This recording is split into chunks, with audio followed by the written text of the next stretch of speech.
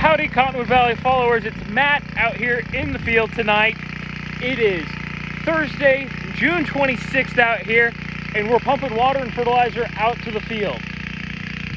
The plants are hungry. We've had some long, hot, windy days, so we're pumping some 20-20-20 water-soluble fertilizers. That's the NPK of 20-20-20. I mixed two pounds to about five gallons here that I'm using a Venturi injector for. So on my injector here, this came from Nolts Midwest. That right there is the Venturi piece. So what it's doing is I'm got water coming in right here on this side.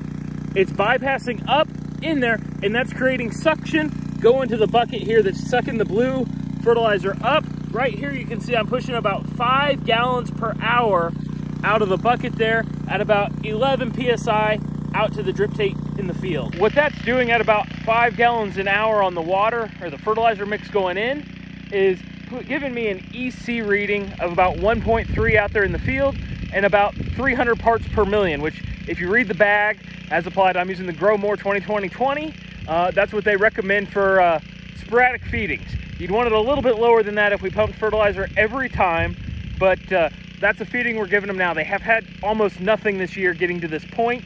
So that's what I'm going with tonight. We did give them some fish fertilizer, a light dose of it about a week ago, but these long hot days, they just need a little bit more help. Let me show you our pump setup and our tank setup. Right here, I have a 250 gallon IBC tote.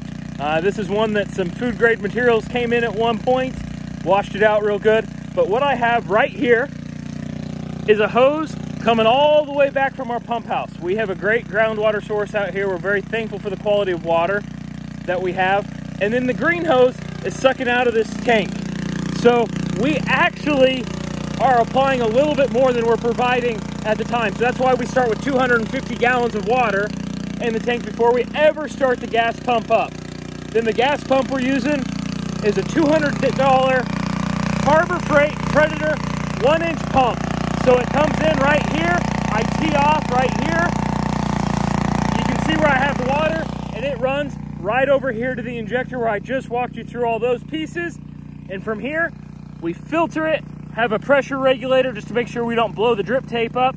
And it runs through one inch orchard tubing out to our field. So that right there is how we feed our plants here at Cottonwood Valley Farm.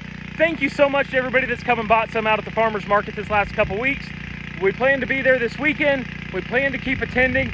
There are some other pieces in the works to help sell produce here for us at Cottonwood Valley Farm. Hopefully we have those around the 4th of July, maybe the end of next week. Things going with that. So thank you for following along. Make sure you like and subscribe.